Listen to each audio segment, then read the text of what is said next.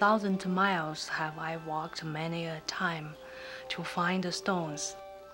Over and over have I worked.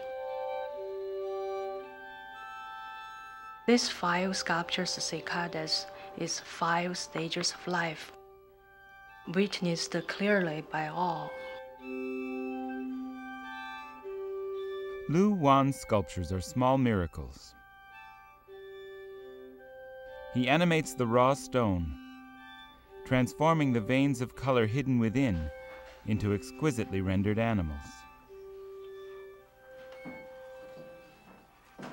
This chameleon very special. Mm, I love this.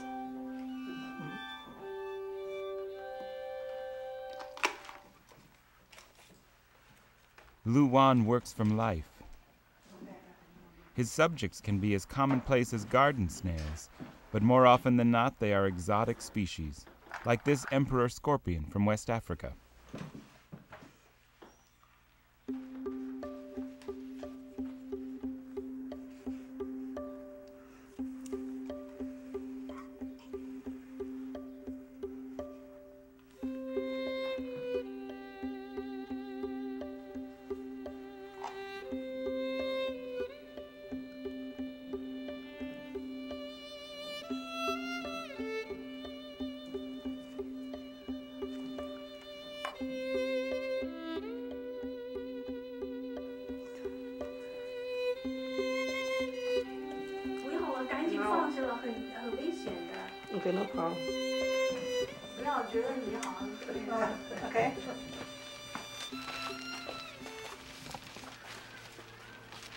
an accomplished painter, poet, and sculptor, Lu Huan attended China's finest art academies. As a young man, he so impressed government officials that he was brought to the Forbidden City, where he lived and worked for 16 years. Sure.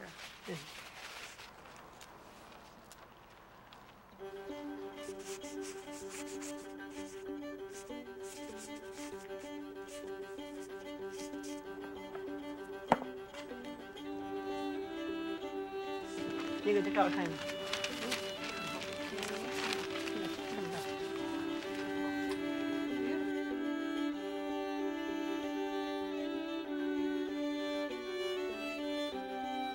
Each one of his paintings and carvings are accompanied by a poem, written in traditional style. 可是拿到这儿看，记住，慢，你你你别那光伸手。慢点儿。 The poems are inscribed into the surface of his sculptures. two stolen and covered a snail. Of these snails, streaked with cinnabar, he writes, I envy not a tall mansion, though in a small hut I am well content. Uh, this is snail like. Yeah. Mm. Mm.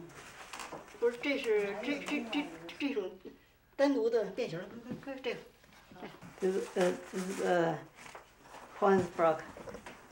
This is a, uh, poison frog。 a poison frog. Yeah, this is poem he wrote and 你你别拿黄的，你你怎么念？侧面念去。 this is the poem like a poison dart frog, right? Why do I still like to make friends with you, although you have a poison?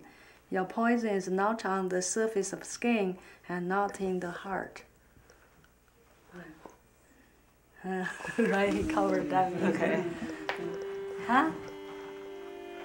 poison，这个 color beautiful。Yeah. Where is your poem you covered? Eh? Yeah, right. At the invitation of an American museum, Lu Huan and his wife, Luan, first came to the United States in 1989 and then decided to stay here.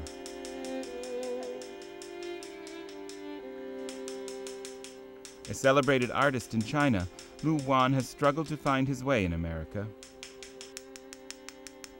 He and his wife live simply, and he spends his days much as he did in the Forbidden City, hard at work.